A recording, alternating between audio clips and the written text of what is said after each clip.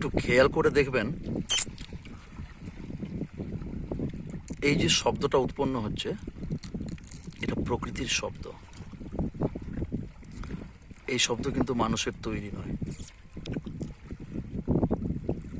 পৃথিবী সৃষ্টির শুরু থেকে এই শব্দ রয়েছে এবং এই শব্দ তখন যেমন ছিল, আজকেও ঠিক তেমনই আছে এবং